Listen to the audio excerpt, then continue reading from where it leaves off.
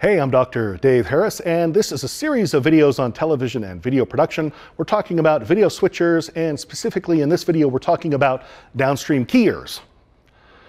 We're using as our example switcher an ATEM switcher, and this particular switcher has two downstream keyers that are going to be located in this area. I want to let you know that the words downstream and key can be confusing to some people. Downstream means that it's going to be at the very end of the video pathway, meaning if we have background, if we've got effects keys, if we've got all kinds of other things that we may be doing upstream, the downstream keyers are going to be what's going to be layered on top of all of that right before the video leaves the switcher.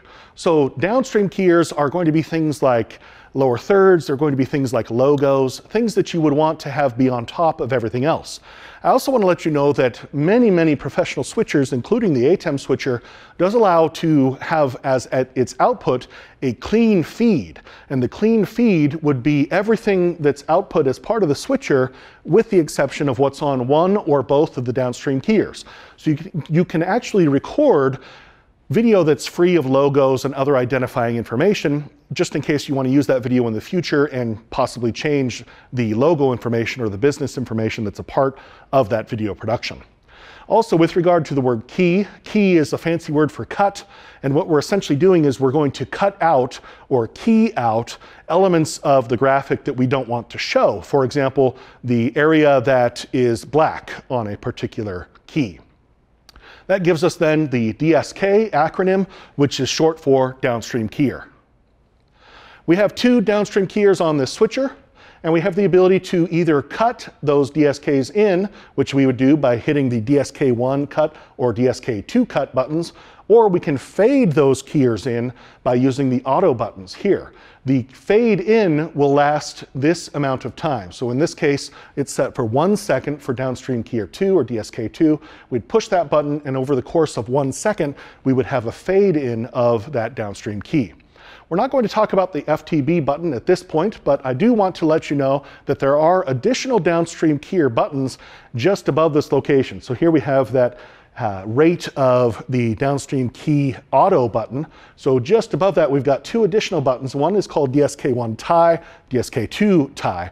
What that does is if we want the downstream keyer 1 to enter our picture or be a part of our video production, at the same time we do a background switch or a key switch, which would happen over here in this area of the switcher, we can push that tie button. And what that's going to do is it's going to bring downstream keyer 1 live at the same time we push the cut or the auto button on a background transition.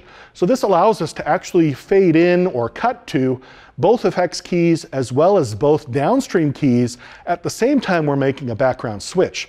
What we would do, we would have the background, the effects key 1, the effects key 2, the DSK1 tie, the DSK2 tie button switched, and or I should say selected, we would push the cut button or the auto button and all of those things would happen at once.